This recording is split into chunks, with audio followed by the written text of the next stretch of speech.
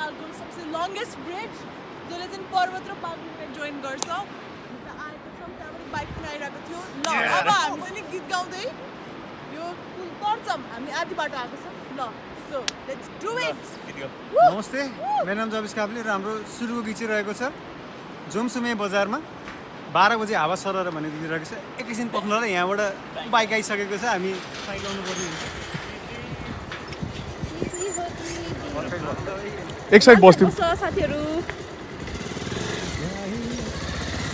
नि गजैले। ल भयो होइन। ल। किन किन किन? बाइक चाहिँ त्यसरी जान्छ। ल सो क्यामेरा रोहित र हामी निकै नै रमणीय ठाउँमा छौँ।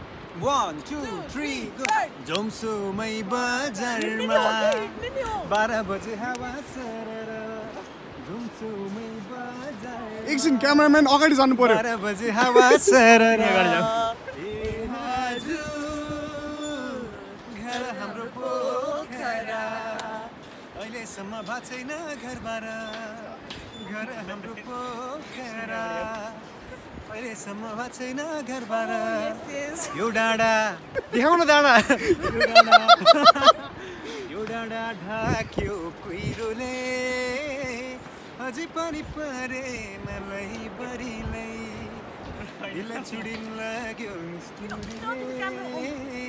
मनको व्यथा बुझाउन लै बरीलै जोमसुमै बजारमा बाह्र बजे हावा ए हजुर सबैले गाउँ न घर हाम्रो पोखरा किन्न ल, ओ yes. अहिलेसम्म भएको छैन घरबाट घर हाम्रो पोखरा। धन्यवाद।